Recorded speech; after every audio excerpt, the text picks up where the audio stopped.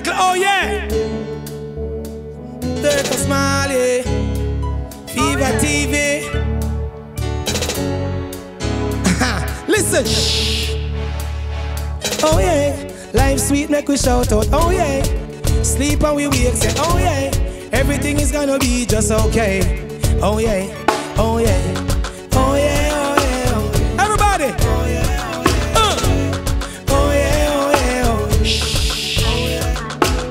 Life sweet coconut. Uh. If it all get over that. Uh. Junk me smoke a lot. Jump sleep and so baba. I live my life like a the last day and I sit down and wait till me lay down and pray. Blessing just a come my way. Walking on me life like your pancas way. Oh yeah, me life sweet, make me shout out. Sleep on me wake say. Well everything is gonna be. Everybody FEVA TV, come on, oh yeah. Oh yeah.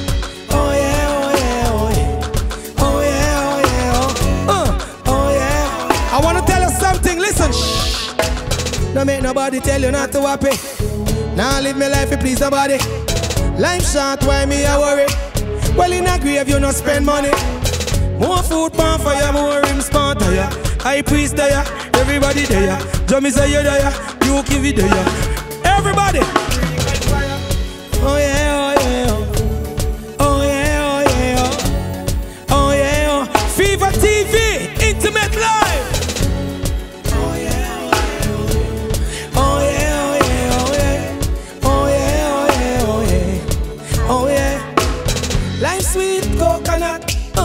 If it don't get over that.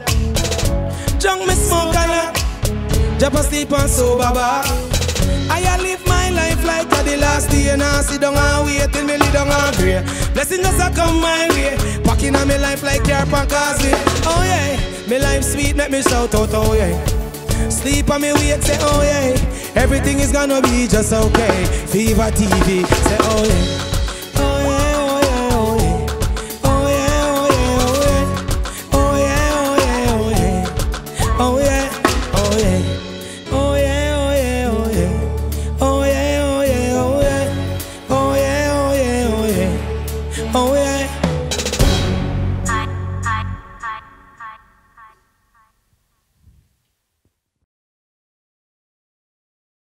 Back inside of Intimate Live, intimate and interactive, globally driven, and wow, mod.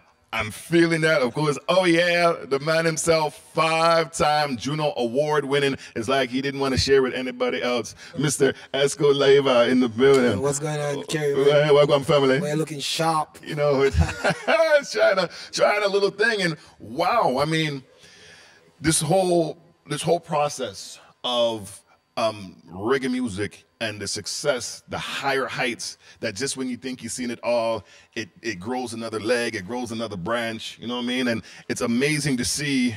Um, in this time, this day, this style, your music, your progress, and just um, amazing, um, this the talent that you have. That's incredible. Thank you very much, Kerry. You know, as I always say, you know, music is an art form. You know what I mean? So every artist have their unique way of presenting themselves. You know what I mean? Just like you give someone a canvas to do a painting and they decide to just throw the paint at it.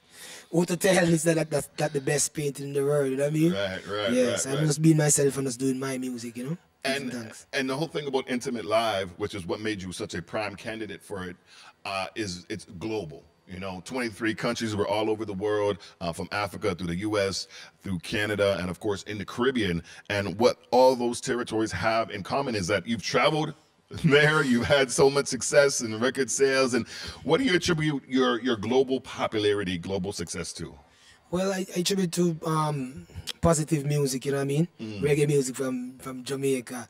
Uh, I was talking to Donovan Germain yesterday mm. from Penthouse Records. You know what I mean? And I remember the first record that he put out for me, which is my first Juno Award winning song, Bleaching Shop 2012. I remember prior to that, doing a song and put it on YouTube and see I have seven views. You know what I mean? And open to God, I would I would reach up there and I remember seeing 100,000 views, 200. So it's all about growth and, you know, believing what you do and just keep on working at it, you know what I mean? Right, and obviously sticking to the integrity to your belief structure systems, and um, of course, hailing from Jamaica, Manchester. Talk about the transition coming from Jamaica to Toronto, Canada, and talk about how that journey contributed to your sound. Well, you know, I, I was born in the country in a place called Armands in Manchester. You know what I mean? Right. I grew up with my grandmother. You know what I mean? And um, I, I was telling my band member them all the time that there's nothing surprise me in music because it's our deja vu. You know what I mean? Long before. I even know what deja vu mean, I used to walk to the shop mm. and just uh, visioning the, the, the ball feel as a crowd of people, you know what I mean, from right. a tender age. Right. So just to see it manifest in real life, you know what I mean? Sometimes I've I've been in some place in the world, I'm like, what? You know what I mean? Mm. I can't believe that what I always see in my in my subconscious mind as a youth growing up in Jamaica when the grandmother used to say, You sing too much, you make too much noise.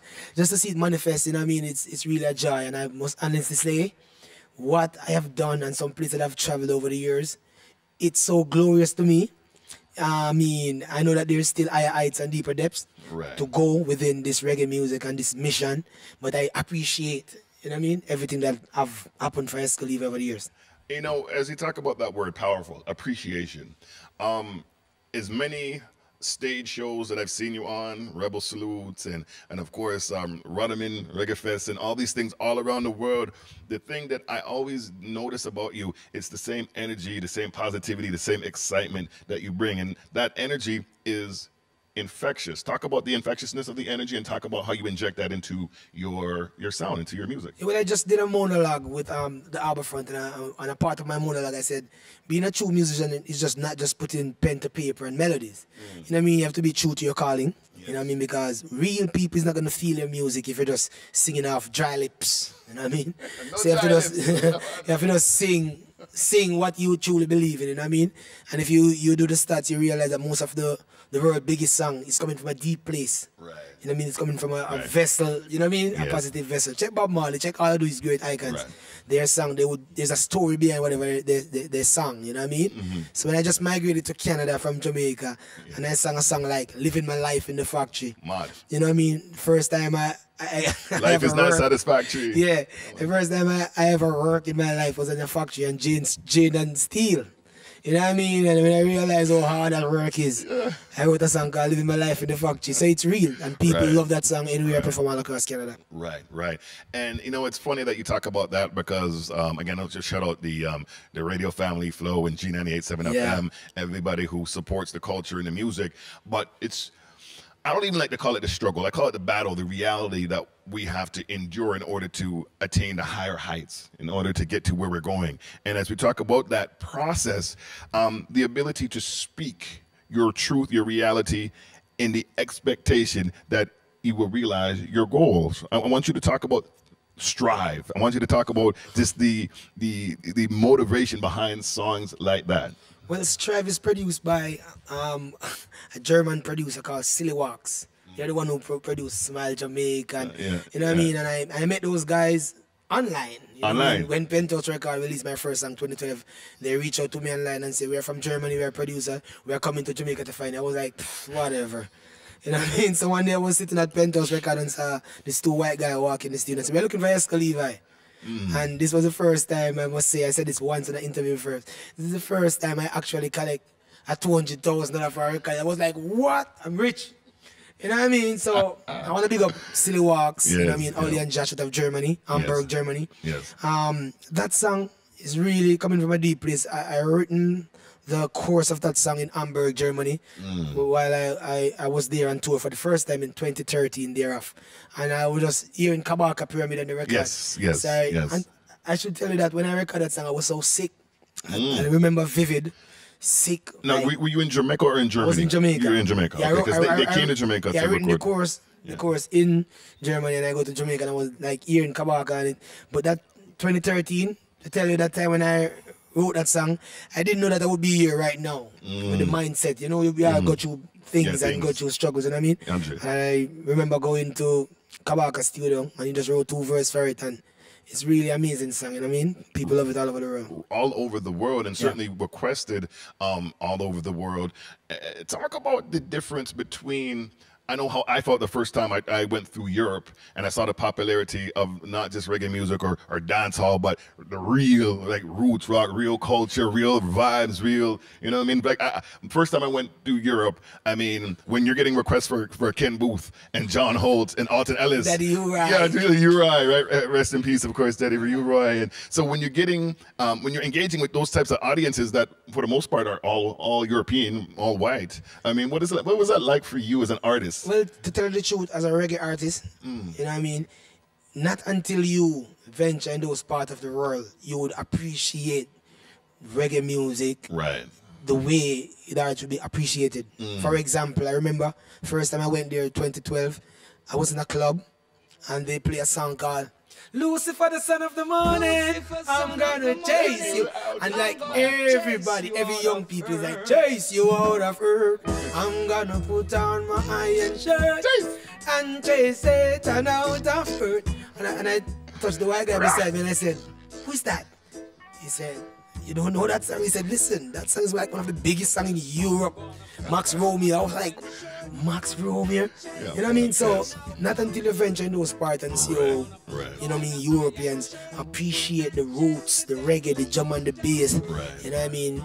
You will be a different artist, you know what I mean? You think different, you know? Right. So, right. I, I I'm happy that I have those experience from then, 2012, 2013, right. c- come to thus far. So I just know where am I heading, you know what I mean? Uh, Giving thanks. And you can hear the, the sound, of growth in the music. And so as we talk about that in Europe and, and Germany and New Zealand, all these different places that you, you've been received, well received, and certainly um, millions of views and all that amazingness.